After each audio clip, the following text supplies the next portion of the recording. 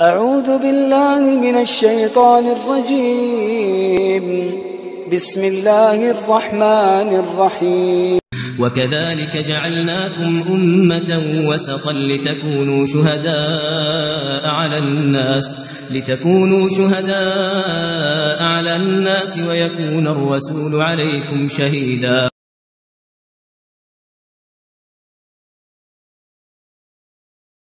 الحمد لله رب العالمين والصلاة والسلام على أشرف الأنبياء والمرسلين نبينا محمد وعلى آله وصحبه أجمعين اللهم علمنا ما ينفعنا وانفعنا بما علمتنا وزدنا علما رب اشرح لي صدري ويسر لي أمري واحلل عقدة من lisani yefqahu qavli əmmə bə'd. Əziz qardaşlar, keçən dərslərimizdə məzhəblər barədə, məzhəblərə tabiçilik barədə bəzi mövzular götürdük. Və bu mövzular nədən ibarət idi? İmamların özlərinin, yəni məzhəb imamlarının özlərinin ümməti nəyə dəvət etməsi və onlar öz tabiçilərini, öz tələbələrini nəyə dəvət edirlər və bu barədə onların sözlərini götürdük və bizlərə aydın oldu ki, onların hər biri e, insanları, öz tabiçilərini, tələbələrini Qurandan və Peyğəmbər sallallahu aleyhi və səlləmin sünnəsindən möhkəm tutunmağa çağırırlar və onların hər biri əgər öz rəyləri Quran və yaxud da Peyğəmbər sallallahu aleyhi və səlləmə müxalif olarsa, Peyğəmbər sallallahu aleyhi və səlləmin sünnəsinə müxalif olarsa, bu zaman öz rəylərini tərk edərək o sünnəni götürməyə insanları çağırıblar və bunu etməyənə də öz haqlarını halal etməyiblər. Və necə ki, bu barədə imamların açıq aydın sözlərini götürdük. Başda İmam Əbu Hənifə, Nu'man ibn Səbit rahiməhullah olmaqla, ondan sonra İmam Məlik, İmam Şafi və həmçinin İmam Əhməd, Allah onlara rəhmət etsin. Onların sözlərini götürdük və gördük ki, onlar hər bir kəsi, hər bir kəsi Quran və Peyğəmbər sallallahu aleyhi və səlləmin sünnəsinə çağırırlar və bütün dinin bu iki əsasın üzərində dayandığını insanlara göstərirlər. E, lakin təəssüflər olsun ki, təəssüflər olsun ki, hətta bu sözlərin özlərini də, yəni hansı ki o imamların sözlərini gətirdik, o sözləri də başqa yerlərə yozanlar var. Hansı ki, o insanlar ki, bidət əhlinin əsasları üzərə gedirlər. Necə ki, hər bir kəsə məlumdur ki, bidət əhlinin əsası nədir? Əhlüsünnə vəl cəmaədən bidət əhlini ayıran Əhlüsünnə vəl cəmaəni bidət əhlindən ayıran ən mühüm əsaslardan biri də odur ki, Əhlüsünnə vəl cəmaə Qurana, sünnəyə baxır və onun üzərində öz əqidəsini, mənhəcini qurur. Amma bunun əksi olaraq bidət əhli isə ilk olaraq özləri üçün mənhəc, əqidə tuturlar, özləri üçün bir yol təyin edirlər, ondan sonra həmin yola dəlillər axtarırlar. Ona görə də hər hansısa bir dəlil öz yollarına müvafiq olmayanda, müxalif olanda rahatlıqla o dəlili tərk edirlər, amma özlərinin tutduğu yolu tərk etmək istəmirlər. Çünki onlar əsas olaraq əsas olaraq öz yollarını tuturlar. Dəlili yox, öz yollarını tuturlar. Amma necə ki, keçdiyə ki, yəni əhlüs-sünnə vəl-cəmaə ilk olaraq dəlilə baxır. Hər şeydən öncə dəlilə baxır, ondan sonra o dəlil üzərə öz əqidəsini, mənhəcini qurur. Necə ki, İbn Teymiyyə rahimehullah buyurur ki, Əhlüs sünnə vəl cəmaə yəstədillun thumma ya'taqidun. Deyə Əhlüs sünnə vəl cəmaə dəlil götürür və sonra etiqad edir o dəlil üzərə, amma bidət əhli isə ya'taqidun thumma yəstədillun. Etiqad edirlər, sonra o etiqadları üçün dəlil axtarırlar. Və bugünkü dərsimizdə də inşallah e, qısa olaraq bir neçə misalla həmin imamların o sözlərini öz tələbələri necə həyata keçiriblər, o barədə bir neçə misallar qeyd etmək istəyirəm ki, görək ki, e, keçən dərslərimizdə bizim götürdüyümüz o sözləri o imamların özlərinin tələbələri necə başa düşüblər? Və şək yoxdur ki, e, bir müəllimin sözlərini və onun dəvət etdiyi yolu ən yaxşı onun tələbələri başa düşər. Və buna görə gəlin baxaq, görək ki, o tələbələrin öz imamlarına tabiçilikləri nə dərəcədə idi? Və onlar əsl olaraq Quran sünnəni götürürdülər, yoxsa öz imamlarının sözlərini götürürdülər. Və buna misallardan birincisi İmam Əbu Hənifənin rahimehullahın ən məşhur tələbələrindən olmuş iki imam Muhammed ibn Həsən və həmçinin Əbu Yusuf Allah onlara rəhmət etsin. Bunları misal götürmək olar. Hansı ki bunlar İmam Əbu Hənifə rahimehullahın ən məşhur və ona ən mülazim olan tələbələrindən, iki tələbəsidir, məşhur e, tələbələrindəndir. Və onlar öz şeyxləri olmuş Əbu Hənifə rahimehullahın məzhəbinə üçdə ikisində müxalif olublar. Və bunu İbn Abidin həşiyə, öz həşiyəsində 1-ci cild 62-ci səhifədə gətirir. Və həmçinin Ləknəvi e, Nəfiul Kəbir kitabı e, 93-cü səhifədə gətirir. Qazalidən nəql edir. Və həmçinin buna İmam Muzənini də misal gətirmək olar. Və qeyd edeyim ki, bu nəqilləri e, Şeyx Albani rahimehullah Sıfat-ı Salah kitabının müqəddiməsində qeyd edib. Ondan sonra ikinci misal olaraq İmam Muhammed İbn Həsən e, rahimehullah e, Muvatta adlı kitabında qeyd olunur ki, e, deyir ki, amma İmam Əbu Hənifə Allah ona rəhmət etsin və İmam e, Muhammed ibn Həsən deyir ki, deyir, amma İmam Əbu Hənifə Allah ona rəhmət etsin Allahdan yağış tələb etmək üçün namaz qılmağın şəriətdə varid olmaması rəyində idi. De, amma bizim rəyimizə görə məscid imamı Allahdan yağış tələb etmək üçün insanlara iki rükət namaz qıldırır, sonra dua edir, paltarını çevirir və s. Və burada bilirik ki, bu məsələnin özündə İmam Muhammed rahimehullah öz şeyxi olmuş, öz imamı olmuş İmam Əbu Hanifəyə müxalif olub. Nəyə görə? Çünki dəlil dəlil açıq aydın yağış namazının qılınmasına dəlalət etdiyinə görə öz imamının sözünü tərk eləyərək e, dəlili götürür. Və həmçinin İmam Muhammed həmin kitabda qeyd edir ki, o təqribən 20 dənə məsələdə öz imamı olmuş Əbu Hənifəyə müxalif olub. Və bu məsələlər qeyd olunduğu səhifələri sonra imam e, qeyd edir e, Şeyx Albani Rəhməlullah bu səhifələri e, orada qeyd edir ki, yəni bu səhifələrdə e, 20-dən çox məsələ var ki, hansı ki o məsələlərdə İmam Muhammed öz imamı Əbu Hənifə Rəhməlullaha müxalif olub. Misal olaraq 42-ci səhifədə, həmin Muvatta kitabı 42-ci səhifə, 44-cü səhifə, 103, 120, 158 və beləcə 20-dən çox səhifəni qeyd edir və bu səhifələrdə hamısında e, misallar var ki, məsələlər var ki, hansı ki o məsələlərdə İmam Muhammed rahimehullah öz imamı olmuş Əbu Hənifə rahimehullaha müxalif olub. Və həmçinin buna misal olaraq İslam İbni Yusuf Əl-Bələxi rahimehullahı qeyd etmək olar.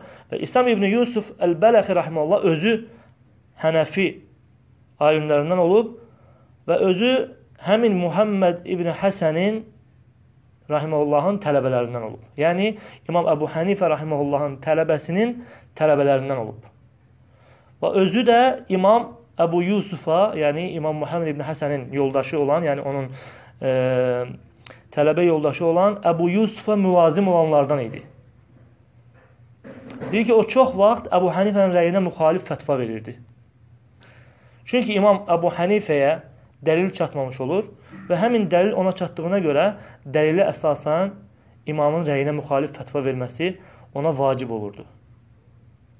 Bu da Bəhrur Raiq kitabı 6-cı cild 93-cü səhifədə gəlib və həmçinin Rasmul Mufti kitabı 1-ci cild 28-ci səhifədə gəlib. Buna görə e, İmam e, Muhammedin tələbəsi İslam ibn Yusuf Əl-Bələxi rahimehullah namazda rükü edərkən və rüküdən qalxarkən əlləri qaldırardı. Rükü eləyərkən və rüküdən qalxarkən əlləri qaldırardı. Və bizə məlumdur ki, İmam Əbu Hanifənin öz rəyinə görə isə rükü edərkən, rüküdən qalxarkən əlləri qaldırmaq sünnədən deyil. Amma İmam e, İslam İbn Yusuf Əl-Bələxi rahiməhullaha sünnə gəlib çatdığına görə öz imamının rəyinə müxalif olub. Necə ki, Peyğəmbər sallallahu aleyhi və səlləmin sünnəsindən mütəvatir yolla çatan bir sünnədir ki, e, məzhəb imamlarının üçünün rəyi buna müxalif olub. Məzhəb imamlarından üçü əlləri qaldırmamaq rəyindədir. Amma e, məzhəb imamlarından üçü o rəydə olsa belə e, bu imamlar öz məzhəblərinin rəylərini tərk etməsi e, tərk ediblər və hədisləri tərk etməyiblər. Ondan sonra Şeyx Albani rahimehullah buyurur, buyurur ki ويعلم أيضا أن الحنفي لو ترك في مسألة مذهب إمامه لقوة دليله لقوة دليل خilafih la yahrucu bihi an ribqati təqlid. Deyir ki, həmçin bilmək lazımdır ki, əgər hənəfi olan bir şəxs bir məsələdə əks tərəfin dəlili güclü olduğuna görə öz imamının rəyini tərk edərsə, o bu zaman öz imamına təqlid etməyi tərk etmiş sayılmır. Əgər bir insan hənəfidirsə və bir məsələdə ona dəlil çatdığına görə, dəlil ona daha güclü görsəndiyinə görə, öz imamının rəyinə müxalif olubsa, yenə o, o məzhəbdən sayılır. Baxmayaraq ki, həmin məsələdə öz imamına müxalif olsa belə. Sonra deyir ki, əksinə, onun belə etməsində zahirən müxaliflik görsənsə də, əslində yenə də o ona təqlid etmiş sayılır. Çünki belə etməyi imamlar özləri əmr ediblər. Və sonra Şeyx e, Albani Rəhməllah buyurur ki, sən yuxarıda keçdiyimiz, yəni gətirdiyimiz o sözləri görmədinmi ki, e, hansı ki imamlar nəyə çağırıblar?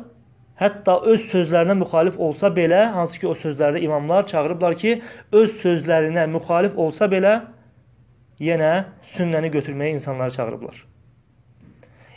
Həmçinin İslam İbn Yusuf Əl-Bələxi rahimehullah rükü edərkən və rüküdən qalxarkən əlləri qaldırmaq məsələsində İmam Əbu Hənifənin məzhəbini tərk etdi, lakin o yenə də Hənəfilərdən sayıldı. O, o yəni məzhəbi tərk etməsinə görə onu məzhəbdən çıxartmadılar. Və demədilər ki, e, sən artıq Hənəfi deyilsən. Amma şeyx buyurur ki, təəssüflər olsun ki, bu zamanədə yaşayan bəzi cahillərin etdiklərindəndir ki, Allaha şikayət edirik. Çünki onlar bir məsələdə dəlilin güclü olmasına görə öz imamının məzhəbini tərk edən kəsi həmin məzhəbə təqlid etməyi tərk etmiş sayırlar. Həmin məzhəbə tərk et, e, təqlid etməyi tərk etmiş sayırlar. E, və onu, həmin insanı o imama təqlid edənlərin siyasından çıxarırlar. Həmin insana, həmin imama təqlid edənlərin siyasından çıxarırlar. Və şeyx buyurur ki, mən bunu edən deyir ki, sıravi insanlara yox, əksinə deyir ki, özlərini alimlərə oxşadıb, alimlərə oxşadıb, deyir, heyvanların yerişi ilə yeriyənlərə təəccüblənirəm. Və bunu Şeyx Alban Rəhməllah Sifət-ü Salat, Sifət Salatın Nəbi kitabının 51-52-ci e, səhifələrində gətirir. Həmçinin qardaşlar, Əbu Yusuf e, Rahiməhullah, İmam Əbu Hanifənin tələbələrindən olmuş Əbu Yusufun e, İmam Əbu Hanifəyə müxalif olmasına misal olaraq onun İmam Məlik İbni Ənəslə arasında olan münaqişəni qeyd etmək olar. O vaxt ki, Əbu Yusuf rahimehullah İmam Məlikdən e, sa və mud haqqında soruşur. Sa, mud e, ölçü vahidləridir. E, bu ölçü vahidləri haqqında soruşur. Hansı ki, o ölçülərlə zəkat verirdilər. İmam Malik rahimehullah Mədinə əhlinə əmr edir ki, öz sağlarını gətirsinlər. Həmin ölçü qablarını gətirsinlər. Onlar da həmin qabları gətirirlər və deyirlər ki, bu qablar, bu sağlar onlara özlərindən əvvəlki insanlardan qalıb. Bu zaman İmam Malik rahimehullah Əbu Yusufə deyir ki, səncə onlar yalan mı danışırlar? Yəni İmam Malik rahimehullahın vaxtındakı insanlar o sağları gətirib deyirlər ki, bunlar bizə əvvəlki, bizdən əvvəlki insanlardan qalıb, yəni kimlərdən? Yəni sahabələrdən. Çünki onlardan əvvəl kimlər var idi? Onlardan əvvəl sahabələr var idi. Deyir ki, bu qablar, bu sağlar bizə bizdən əvvəlki insanlardan qalıb. Yəni biz bunlarla zəkat verirdik. İmam Malik rahimehullah Əbu Yusufə deyir ki, səncə onlar yalan mı danışırlar? O da deyir ki, xeyr vallahi yalan danışmırlar. İmam Malik deyir ki, ey İraq əhli, mən bu sağları ölçdüm, yəni həmin o Mədinə əhlinin gətirdiyi e, həmin o qabları deyir, ölçdüm və gördüm ki, sizin ölçülərinizlə bu sağlar yəni e, uyğun gəlmir. Sizin ölçülərinizlə Mədinə əhlinin ölçüləri düz gəlmir. Bu zaman Əbu Yusuf rahimehullah İmam Məlikə deyir ki, artıq deyir sənin rəyinə qayıtdım, ey Əbu Abdullah. Deyir, artıq mən sənin rəyinə qayıtdım və mənim yoldaşım da, yəni Muhammed ibn Həsən də mənim gördüyümü görsəydi, o da mənim kimi rəyindən dönərdi. Həmçin Əbu Yusuf və Muhammed ibn Həsən e, ikisi də e, göyərtilərdə göyərtilərdə zəkatın olub olmaması məsələsində İmam Əbu Hanifəyə müxalif olublar. Bunu da İmam e, İbn Teymiyyə rahmeullah Məcmu Fətava 20-ci cild 306-cı səhifədə qeyd edib. Ona görə qardaşlar, yəni bu kimi misalların çoxunu qeyd etmək olar. E, və bu e, qısa misallarla kifayətlənirəm. Və imamların sözləri bu barədə artıq gördünüz ki, açıq aydındır. Ə, keçən dərslərimizdə götürdüyümüz sözlər ki, hansı ki, onlar insanları açıq aydın Qurana və Peyğəmbər sallallahu aleyhi və səlləmin sünnəsinə tabi olmağa çağırıblar və bildiriblər ki, dinin əsası bu iki şeydir. Quran və Peyğəmbər sallallahu aleyhi və səlləmin sünnəsidir. Necə ki, Peyğəmbər sallallahu aleyhi və səlləm bir çox hədislərində və həmçinin hətta vəda xütbəsində belə Peyğəmbər sallallahu aleyhi və səlləm bildirib ki, bu iki şeydən möhkəm yapışın Əgər bu ikisindən möhkəm tutarsınızsa, yapışarsınızsa, ə, heç vaxt azmazsınız. Buna görə bilmək lazımdır ki, ə, İslamın əsası, dinin əsası Quran və sünnədir və ondan başqa ona müxalif olan hər bir söz tərk olunur və e, Quran və sünnə tərk olunmur.